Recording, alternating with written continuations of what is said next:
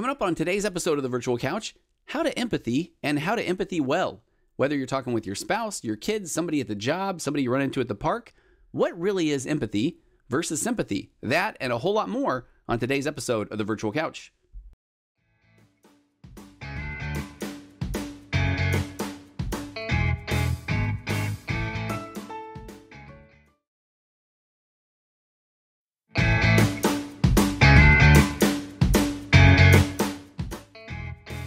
Hey, everybody. Thank you for tuning in to episode 139 of the Virtual Couch. I'm your host, Tony Overbay. I'm a licensed marriage and family therapist, certified mindful habit coach, writer, speaker, husband, father four, ultra marathon runner, and creator of The Path Back, an online pornography addiction recovery program that is helping people like you reclaim their lives from the harmful effects of pornography. If you or anybody that you know is struggling to overcome pornography or any type of compulsive sexual behavior, please visit pathbackrecovery.com. There you can find a short ebook that describes five common mistakes when people make when trying to overcome pornography or any type of compulsive sexual behavior. Again, that is pathbackrecovery.com. And please take a second, go visit the virtual couch on Instagram.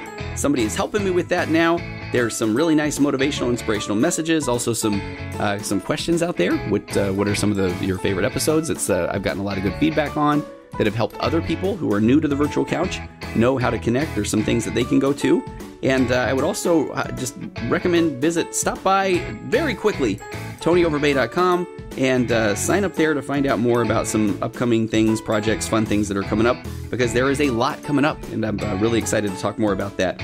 So again, that's tonyoverbay.com, or visit me on uh, at Virtual Couch on Instagram, or there's a Virtual Couch page on Facebook, or a Tony Overbay Licensed Marriage and Family Therapist page there on Facebook as well. Like them both, why not? And if you just have a moment and you don't mind doing me a solid, as the kids say, and subscribe or rate or review uh, any wherever you get your podcast, that would mean a whole lot. That is the the sort of podcast currency these days is uh, those those rates, reviews, um, likes, subscribes, all of those kind of wonderful things. All right, so let's get on to today's episode of the Virtual Couch. I have to start with a little bit of a joke. When I speak, I often start with a concept of empathy. And uh, I will talk about that. We're maybe going to talk about empathy, empathy versus sympathy tonight. And there's a the comment that we often hear is an unattributed quote that goes way back, and it's basically you can't understand somebody until you've walked in a mile in their shoes. So I'll start with that, and then I will kind of get very, uh, very um, kind of serious and just say but you know what I really like is uh, is this concept where before you criticize someone, really truly, you must walk a mile in their shoes, and that way you'll be a mile from them and you'll have their shoes. That one goes to Jack Handey, former Saturday Night Live writer. But uh, but before we jump into today a little bit deeper, I did, and I pulled this from episode 67 of the Virtual Couch podcast from long ago. That episode is on rules of constructive communication. On one of those um, parts of being uh, better at communicating, especially when you've been in a uh, you're kind of stuck in a unproductive communication pattern with your partner. I've got a section on there where I do talk a little bit about, about empathy. And my reason for bringing that up is I that's one of those places where I talk about empathy versus sympathy. And I think before we go further today, empathy versus sympathy refresher. And uh, I've had a couple of different ways that I've described this one. The first one that I ever really that really sunk in for me was uh, this concept of walking up to someone and they are in a giant pit. Now I don't know why they're in a pit but they're in a pit. And sympathy looks like looking down on this person in the pit and saying, I, I am so sorry that you're in that pit. Like that looks really, really bad. I mean, you're expressing sympathy for them and you really feel bad for them. And that's a good, I mean, it's, it's, I was to say that's a good thing. I mean, I feel bad that they're in the pit. There's sympathy.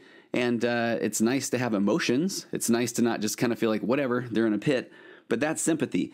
Empathy, I always say, is okay, you jump down in that pit with them and then you kind of say, all right, I'm right here with you. What are you seeing here? You know, when they're talking about, man, I'm in this pit and it looks so high up and I'm afraid of dirt, or, you know, these walls seem so just uh, straight up and down, and this is what that brings up to me. And so, again, you're kind of jumping in there with them and understanding what that that perspective is like from for them, and uh, and empathy really goes into what those experiences are like for that person. And I, I've tried to move the pit example onto hanging from a limb and uh, again walk over see somebody hanging from the side of a cliff and they're on some branch or limb and sympathy being this really stinks empathy being right there beside them and you're hanging on the limb with them and then it's like man okay i feel a little bit more of this now again the, the key here is you may not feel exactly what they're feeling because you might not necessarily be as afraid of heights. You might have had you might have grown up you know hanging from a tree limb every day. So to you this is more normal, but the concept is trying to understand empathetically means trying to get on their level, trying to understand what things are like for them.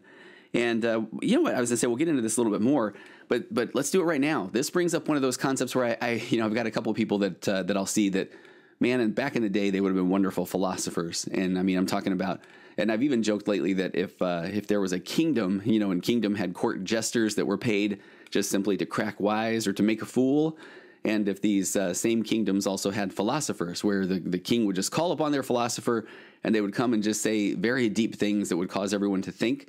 I have a couple of clients that would just have made wonderful philosophers, and unfortunately, that can that can be a difficult uh, difficult thing to be very good at in this day and age if uh, if you know it isn't something that goes along with a job. You're not teaching philosophy or or writing or those sort of things.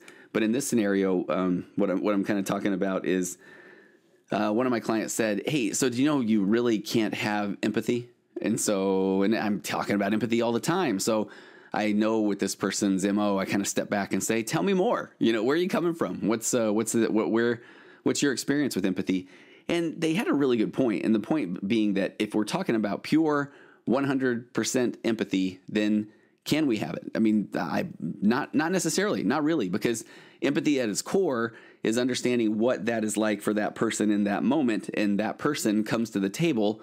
Even the person hanging on the limb or the person in the pit, they are bringing to that moment all of their nature, their nurture, how they were raised, what was in their DNA, their birth order, um, their their acceptance, their rejection, their abandonment issues, their attachment issues, their particular friend groups and what their friends have been through. So it's like all of the and what I mean by that is that they've you know when you've been around your friends and you've asked it, you know maybe you've said it you've told a joke and nobody laughs. You kind of feel a little bit different about it, right? You got somebody else who might have a one of those friends who laughs at everything. So then this you know if you're putting out jokes in front of that person, you know you're feeling like you're a regular comedian. You're uh, and your you know your uh, your endorphins are, are you know rising your uh, the pleasure centers of the brain are kind of activating the synapses are opening up because whenever you are around this other person and you say things they laugh they make you feel good about yourself or if you got somebody else who that isn't the case every time you're trying to crack a joke and they're just like kind of not paying attention or frowning you're gonna you're gonna feel a little bit worse so i mean so much goes into empathy so much goes into um, who we are as a person. Again, not just uh, it's everything. It's all of these concepts, all of your private experiences is what they call it, and acceptance and commitment therapy. So I only bring that up because again, can you this philosophical debate of can you truly have pure empathy for someone? I guess in theory, no. But uh, that doesn't mean you don't try. You know, you don't try to kind of try to understand what somebody else is going through. And let me, and then before we get to a little bit more of these empathetic phrases or sayings, in episodes 93 and I think 94, I did a, a two part series on teaching kids empathy, and that was all on evidence based models of teaching empathy. And I think it's not just for teaching kids empathy, but it's a nice refresher to go through of how to maybe develop or nurture empathy for yourself. And, and the reason I bring th- these two episodes up are there was a, I referenced um, Gwen Dewar. She's a PhD, and she talked about in teaching empathy. She said that might, excuse me, that might sound strange if you think of empathy as innate, a fixed trait um, or a talent that some people are born with or others lack, because empathy isn't an all or nothing proposition.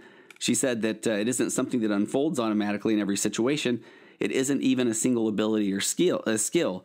And then Gwen Dewar uh, quoted um, uh, Gene Decety and Jason Cowell, who published a paper in 2014 where they argue that the word empathy has become a catch-all term for three distinct processes. And I've thought about this often since uh, recording these, that episode. She talks about the catch all for empathy is really broken down into three different components, three distinct processes. One is called emotional sharing, which is also called emotional uh, contagion, which occurs when, experience, when we experience feelings of distress as a result of observing distress in another individual.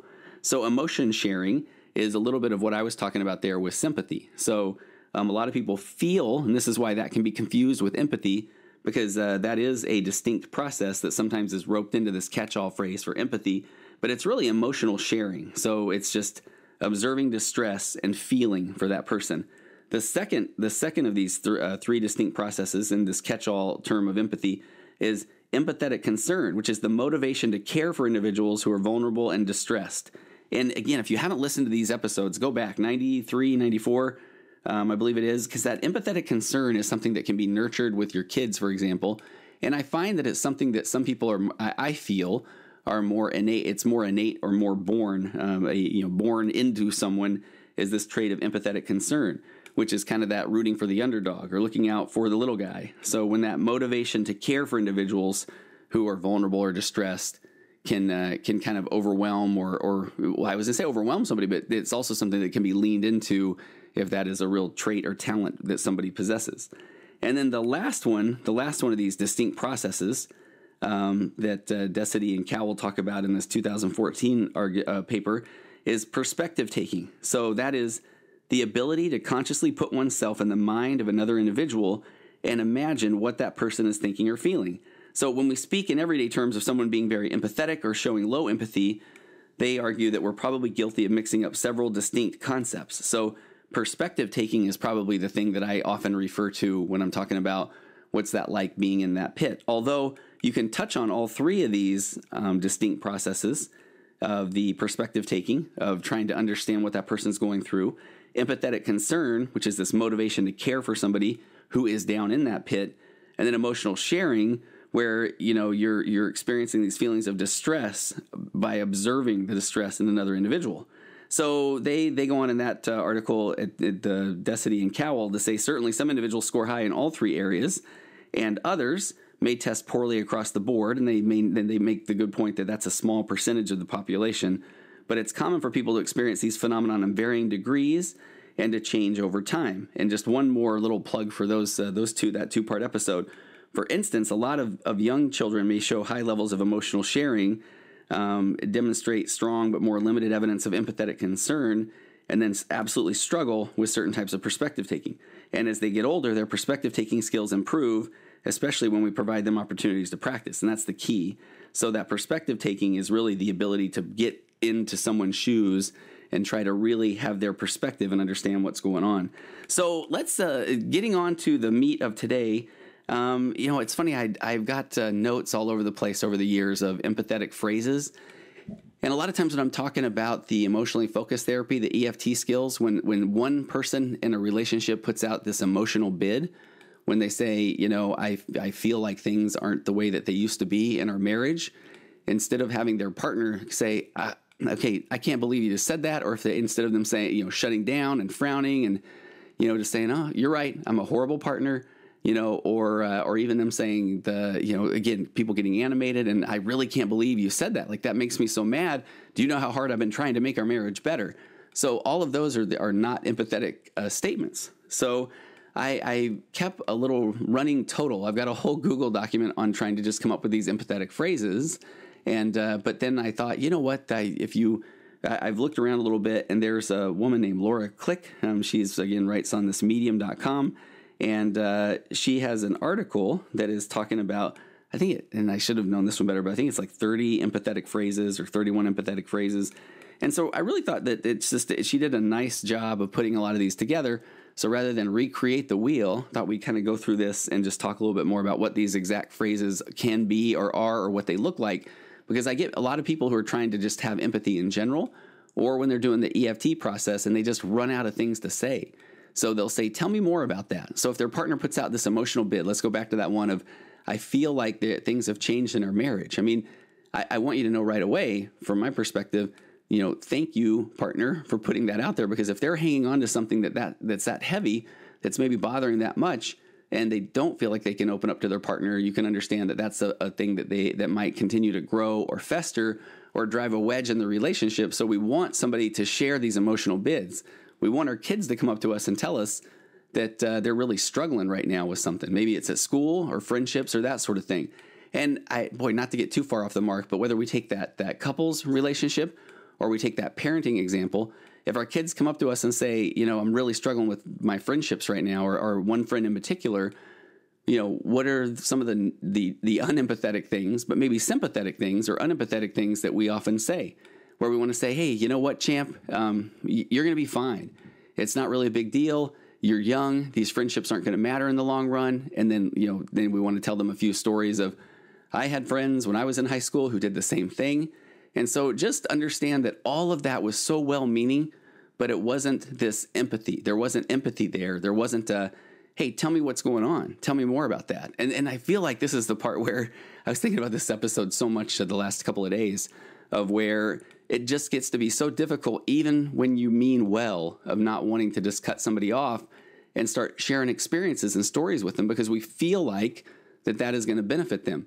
But in reality, and I get to hear this on my couch all the time, whether it's with couples or, or teenagers, whoever it is, that as soon as somebody starts going into the, no, no, no, I, I know exactly what you're saying. You know, when I was young, I did this. Or, I mean, and that's just not, again, it can be, it's better than having somebody to shut the other person down, but it's just, there's not a lot of empathy there and it doesn't necessarily help, especially when somebody just wants to be heard. So, so these empathetic phrases, you know, I, I still love this concept of um, Stephen R. Covey: seek first to understand before being understood. You know, tell me, teenager, tell me what's going on in your relationships. Let me listen to you first. And we can even go good old functional brain scan here and say, if if we were looking at the brains of someone who is being heard, then the the little synapses, neuropath, everything's opening up in the brain. So when we're telling them, no, no, no, I know exactly what you're talking about. Let me let me let me tell you a story about what this was like for me when I was young. And again, we're going to watch the brain kind of shut down. And and because here goes this uh, person who just put out this this emotional bid that they just said, "I'm struggling," and only then to have a person tell them, "Hey, I I don't want to hear any more of what you're going to say. Let me let me get into lecture mode or story time." Because I'm going to tell you this story, and that's going to motivate you. It's it's not. I mean, in some situations, it it might temporarily motivate, but we but people want to be heard. So, Laura Click says, um, when something happens uh, terrible to a friend or a loved one, it can be difficult to know what to say. And I love how she starts it off by saying, we often reach for these kind of rephrases or these kind of phrases or responses. Everything happens for a reason. This too shall pass. Just look on the bright side. God has a plan. I know how you feel. If it's talking about death, you know, this person's in a better place now, or even in situations that this could be a blessing in disguise or something better is around the corner. All of those statements are, are they sound wonderful in theory and uh, and boy, I hope that a lot of them are true, but they do little to help a person feel better. And uh, Laura goes on to say it often minimizes the other person's pain, and it does little to connect with how he or she is feeling. And and I like she points out that I, she says I don't believe we do this intentionally, and I totally agree. Again, I love the concept that, that we are coming from this good place. We want to be there and we want to help somebody and we want them to think that we are right there beside them and that, that we understand what they're going through. But we use these statements because they've been said to us in similar situations as well. And uh, uh, Laura goes on to say that we've been conditioned to believe in these cliched responses are the best things to say when somebody's hurting, even if they weren't helpful to us when we were in that same situation. I love that concept. When you've gone to somebody with a lot of pain or sorrow, and they immediately like to tell you stories about their aunt or uncle or something that they went through a decade ago. And I, this is the part where I honestly sound like I'm making jokes but uh, just by nature of the work that I do, I hear these stories often, and some of them literally, literally are as much as that. I had a client uh, one time who had a uh, a parent pass away, and having someone within the, the, the next week compare the loss of a pet with uh, this person's loss of of a of a of a parent, and uh, man, you know, talk about uh, bless their heart for trying to connect. But in that scenario, um, you know, that stuck with this person for a while rather than having somebody just say some of these empathetic phrases of just what was that like? That that really has to stink you know tell me more about that. So how to show empathy um, you know even if you haven't lost a spouse or you've been diagnosed with cancer um, as uh, as Laura Click says you you can imagine what that it might what it might be like if those things happen to you. That's what empathy starts to look like which is connecting with another person's pain or trying to understand how he or she might be feeling but I do think that it goes a little bit deeper than that and trying to not, though, dismiss what the other person is going for, for or what, what experience they're having. And again, it goes into that ask questions, seek first to understand. So, how to show empathy.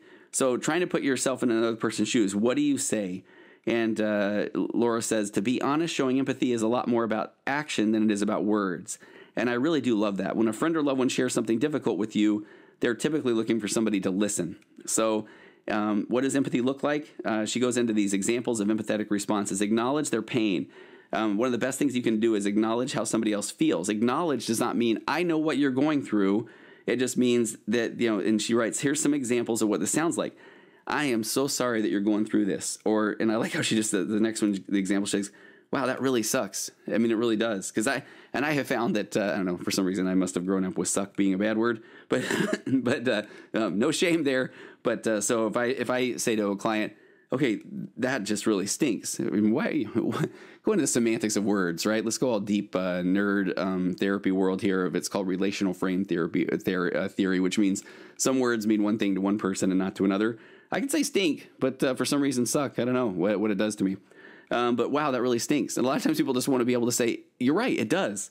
It really does. Or somebody, if you are showing um, empathy, you know, for somebody, it's saying to them, I, I hate this happened to you. Or that must really be hard. Or that sounds really challenging. Or, you know, uh, even this one borders a little bit on sympathy, but the I can see how that would be difficult. I, you know, I'd like to go to, into that more about tell me that what like what's the hardest thing about what you're going through right now.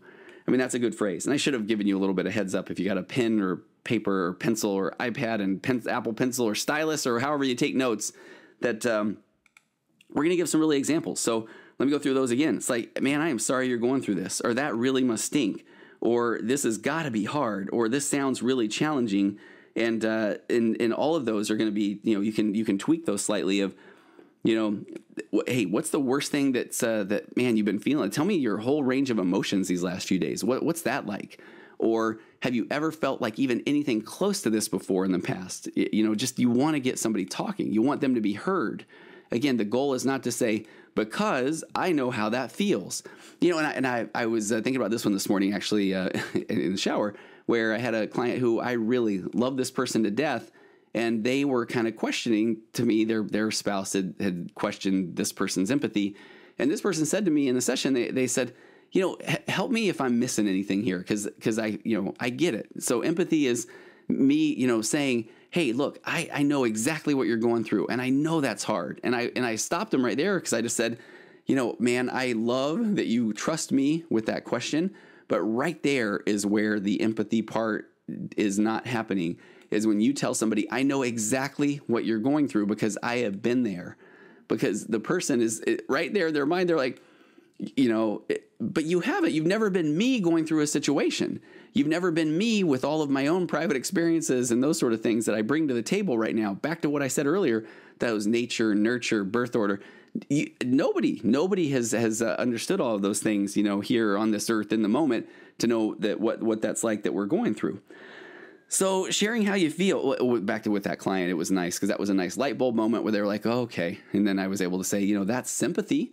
Sympathy is, man, that has to stink, like to, to see what you're going through. And then empathy is, you know, and, and I'll tell people even when they're trying to get good at empathy, be vulnerable. You'll even say, man, I want to tell you that I get where you're coming from, but okay, I get, I get what we're talking about here. And of course I don't understand exactly where you're coming from. So help me try to understand it. I want to know. I want to hear what you're going through. So, uh, in point two, Laura uh, Click says, share how you feel. She said, sometimes it's okay to simply admit you don't know what to say or that you're having a hard time imagining what it would be like to experience what the other person's going through. I like that concept right there. Um, she said, whatever you do, just make sure you don't diminish the other person's experience or make it all about you. Ooh, if I could bold that one. Um, when you are trying to express empathy or, or have empathy for someone, that one I want to just be in the forefront of your brain. Do all you can to not make it about you. I've done that as a parent many, many times where my kids are telling me stories, and I honestly find myself wanting to do that whole wow, I really am about to tell them a story about my high school experience when uh, I had records and CDs. Um, a telephone had a cord to it. Um, you know, I, I, had to go. I, I, didn't have instant access to anything. I didn't know exactly what my friends were doing because I couldn't see them on Instagram. You know, I, I, don't know what it's like to have people uh, uh direct messaging me. That I mean, so and I was about to say, no, man, I know exactly what you were going through. Uh, one time, my friend did this, and you know, and then for the next two days, when I didn't have any interaction with them, and I was going to the gym on my own, and I, you know, that this is what it was like for me. So, see, champ, I totally get where you're coming from. It's like, no, you don't, Dad. Uh, you know, so um, which is a whole other. like, I guess I'm kind of getting a little tangent driven now. But uh, man, I've had I had a couple of in, uh, instances. One where I had a speaking opportunity. One where I was in a meeting and having someone who was similar to me, my age, and we were talking about the quote kids these days, and they mentioned the fact that they didn't have an Instagram account or a Facebook account, and this person was just so like you know, I felt like the room quieted and they wanted everybody to stand up and applaud. You know, you, sir, you get the, the award for holding off on social media through the year 2019. And instead, there happened to be a younger person in the room. And then I jokingly just said, uh, let's just fictitiously say this person's name is David, even though they were actually a girl and not named David. And uh, if I looked over that person and said, you know, uh, David, uh, how you how you feeling about that? Are you super impressed? Because it was a really fun kind of a environment. And I said, uh, "Are you super impressed that this person has no Facebook account or Instagram?" And the the person uh, played by the role David said, "Man, uh, no, you know, um, I don't want to sit around and you know Indian style around them and just say." You know, tell me more about how you uh, interact with people nowadays, and and and tell me that that would be better if I did it that way because I honestly have zero idea what that even looks like or means. So, um, so here, going back into this, uh, sharing how you feel, um, and again, I went off on that tangent about don't make it all about you. Here are some examples of what this could sound like, and I love. Uh, uh Laura says. Wow, I don't even know what to say. Or here's a good one. I can't imagine what you have to be going through um, it's it's fair to say, I, I mean, I wish I could make it better, or my heart hurts for you, or it, it makes me really sad to hear that this happened to you. So I mean, those are those are feelings. I mean, it is. You can be sad. I and that's the one I run into a lot. It's like, man, this breaks my heart, and I say that too, breaks my heart. I'll say this this breaks my heart that you're going through this because I have no idea what that must be like. I really don't. Or I might have an I you know I try to imagine what that would be like, but it really breaks my heart. Um, I love this next one that uh, she talks about in this article. She says, "Show gratitude that the person opened up."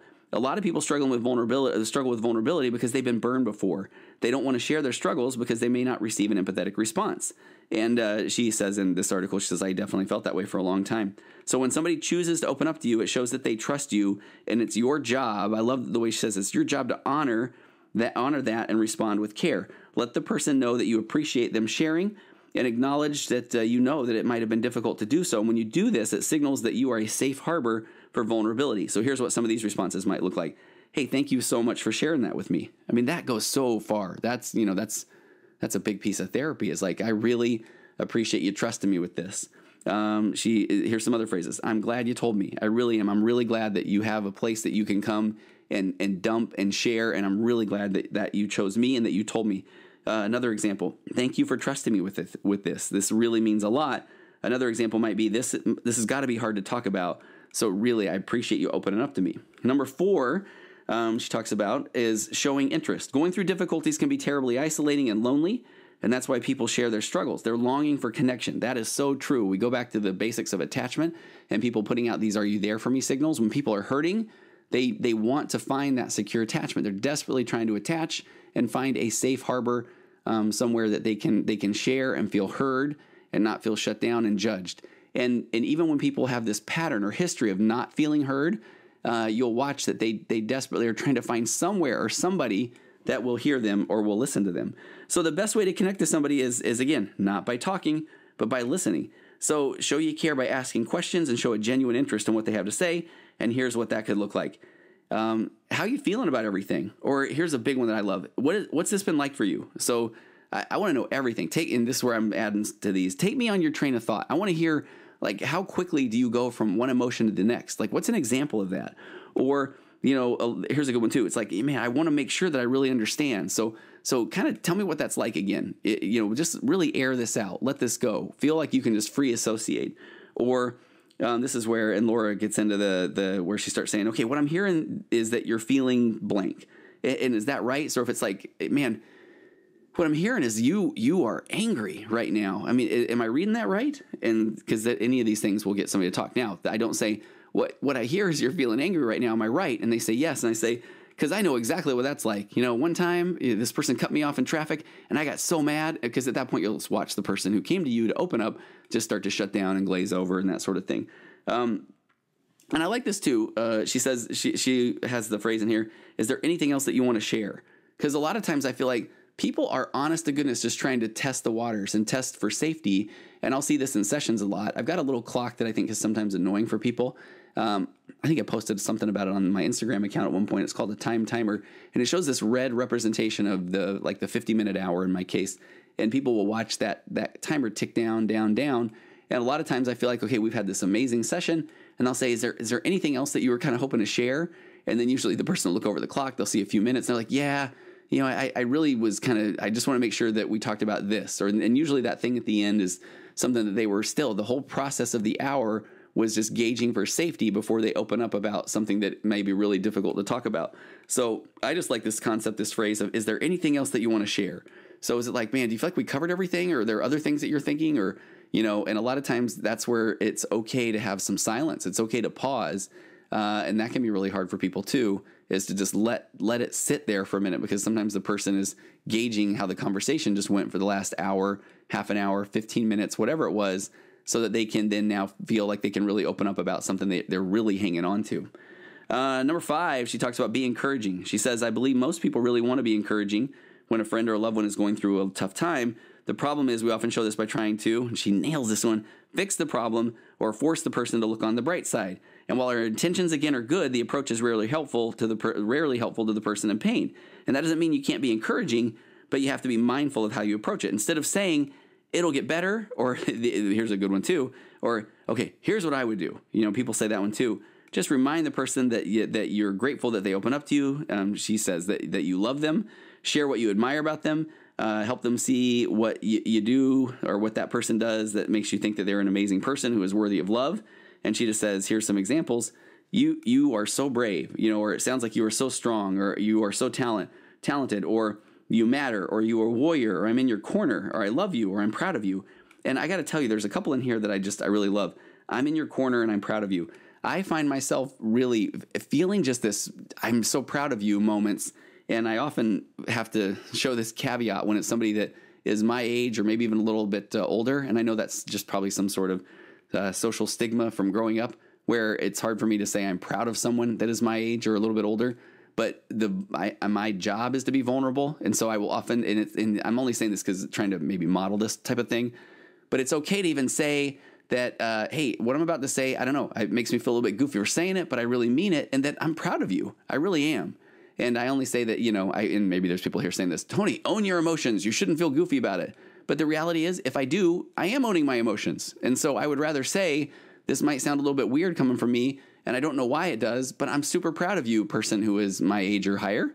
And uh, it's so funny for some reason, if they're a year or two or younger or whatever that is, it, to me personally, my own private experience, that one feels fine. No problem. Super proud of you, person who turns uh, 50 uh, November 23rd instead of me, who will turn 50 November 24th. I can be proud of you, but if you, uh, you know, oh, just give up my age, huh? There we go. Um, and then the other one is that, uh, so that's the I'm proud of you. The other one is I'm in your corner. I, I, mean, I really, and I mean every bit of this. And some of my clients will know that if they hear this, they're like, wait a minute, did he say, does he say that to everybody? And not necessarily, but it's this concept of I'm in your corner or I'm on team. Let's just say the guy's name is Ted. It's like I'm on team Ted, uh, you know, and and Team Ted doesn't mean that I'm going to say, you know, when they tell me that. And then I ran a stop sign, and then I, you know, and then I went and I, I don't know, I was going to say something probably not appropriate or whatever. But whatever they did that wasn't positive, I, you know, it's not like, all right, Team Ted, that sounds awesome. It's like, oh man, oh, tell me more about that one. Like, wh- why'd you run the stop sign? Uh, I got to be honest, that one's hard for me. But uh, Team Ted is still though. It's like I'm in your corner. People want somebody in your in your corner. They want somebody on your team. Be supportive. Uh, number six, she said, when it comes to empathy, actions often speak louder than words. You can show you care by giving a hug, sending flowers, writing a handwritten note, offering to mow the lawn, do the laundry.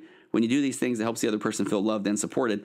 There's an old concept that goes around here where it's like, people love to say, "Hey, let me know if there's anything I can do for you." I'm guilty of that. I probably said it this weekend a, a handful of times, but uh, a lot of times people don't feel like they can ask for anything. Um, I had a religious leader and a friend of mine who used to just say, um, and that's why I love that they talked about mowing the lawn. He would just go mow their lawn. You know, it wasn't even a tell me what I can do for you. Um, he said, I just go mow their lawn because everybody needs their lawn mowed. And it was funny because in my mind, I'm like, what if they had a lawn service? Yeah, but but that's beside the point. Go mow their lawn if that's the thing that you do. Um, and if you look, you're looking for something to say. Then she says, here are a few ways to articulate that you care. I'm here for you. How can I help you? What do you need right now? I'm happy to listen at any time. Um, hey, I would like to do blank for you. So you know, I'd really like to mow your lawn if that's okay, because that, you know, or, or I'd really like to bring you dinner. Like, like that's a big one too.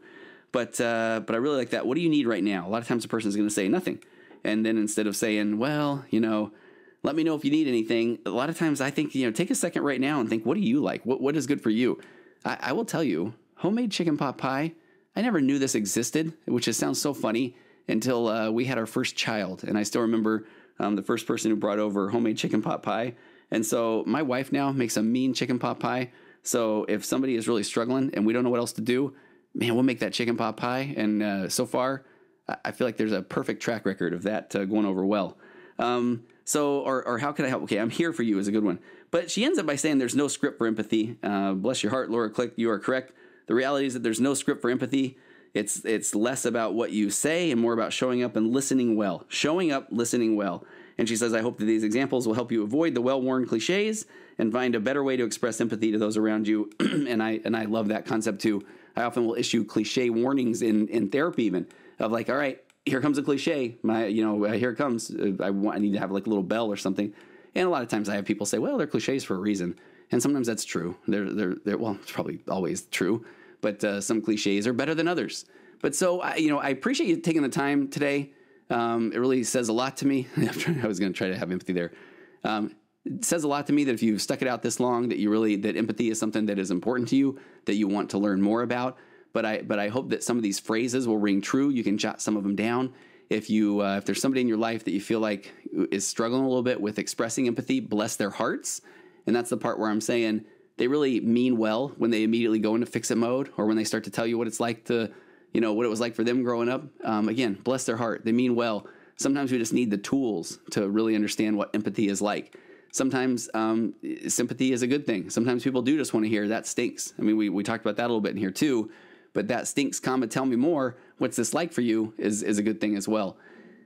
Yeah, it's kind of, I've, t- I've used this one on a, several uh, podcast episodes, I think, in the past, and I was using it at a training a week or so ago, and I really like it. And it's one that uh, my sensei, Darlene Davis, who I had on an episode long, long ago, said, where you know talking about therapists and when you uh, when I was early in grad school, she talked about that a lot. Sometimes people get into therapy because they're like, I'm really good at giving advice. You know, it's like, well, that's kind of not quite what a therapist is doing. Um, a therapist trying to learn a ton of skills and understanding like how uh, how how people work and how to guide them based on the client's self determination, what they bring to the table, and what their goals are.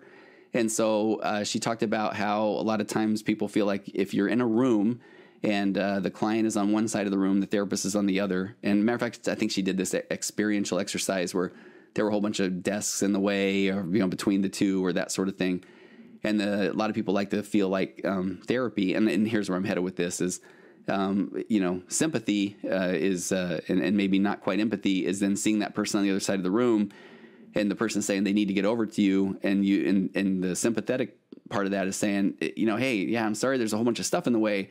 But here's what you need to do. You just need to go there, move left, go around that corner, you know, jump over that desk, that sort of thing not having any idea what that person's experience is like and coming up to those obstacles. And even if you have these stories of, look, I know exactly what you're going through. You know, I've been on that side of the room before as well. I've seen those desks in front of me too. And here's what I did. You know, it's not really taking into account what that person's experience is like. Empathy, and, uh, and, and in this concept, she was talking about being a good therapist, is is walking over to them, standing beside them, and just saying, all right, here, let's go, let's do this. You know, let's get to the other side of that room. And as soon as we get run into an obstacle, then it's, uh, hey, what are you seeing? You know, tell me what this is like. What's your experience here? Have you ever have you ever been in something like this before? If if so, tell me about it. Tell me what you're afraid of. Uh, tell me, you know, tell me your success stories and getting around desks like this or over them, or tell me times that you, you it's been difficult or you've maybe not been successful. And uh, let's work with that because I'm here for you. I can listen. I can, you know, but uh, but I feel like that's a lot of times what our goal needs to be in uh, trying to develop empathy, whether it's uh, with our partners or our kids or our employees or just the neighbors, anybody around us. Is uh, move from the other side of that room, stand over there right beside them, and say, "All right, tell me what we're looking at here. Tell me what that's like for you."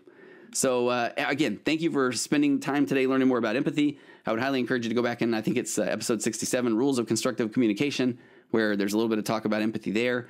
And then something in the 90s, um, there's a two part episode on how to teach your kids empathy. But kids, schmids, I don't know if that's a word, um, but uh, it's, it, I think it's a good thing to, to just a refresher course on how to how to nurture empathy in all of us. All right, so until next time, I'll see you again on the virtual couch. Okay, there you have it. I'm recording a closer now because I'm continuing to enjoy this uh, this Auxbus all-encompassing platform recording system. If you haven't heard more about Auxbus, go visit auxbus.com. That's A-U-X-B-U-S.com. And uh, also go find the interview I did a little while ago with uh, Dan Radin. That's the CEO of Auxbus.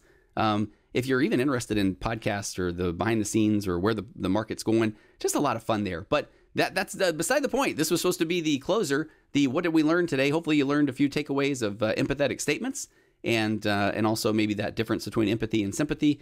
And if you if you received this episode, if somebody sent it to you and said, "Hey, I think you might benefit from this," please don't take offense to that because we could all do a lot better uh, at, at empathizing and learning really what empathy is. Because even those of us who mean well, and I'm guilty of this all the time, can fall into that. Hey, I totally get where you're coming from.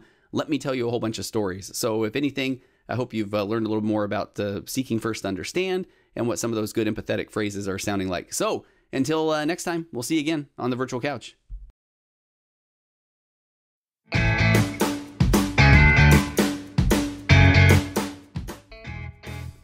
Hey, this is fun. Uh, this is the outro now. I just did the closer. Now we got the outro. I'm just I'm enjoying every moment of this Auxbus uh, experience.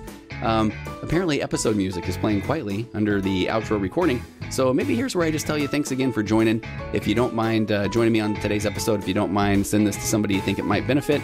And uh, again, if you can rate or review or subscribe, leave a nice uh, comment, that would uh, just mean the world to me. And if you have any feedback, comments yourself, um, shoot them over to contact at tonyoverbay.com or contact at pathbackrecovery.com. Have a great week, and, uh, and we'll see you again next time on the virtual couch.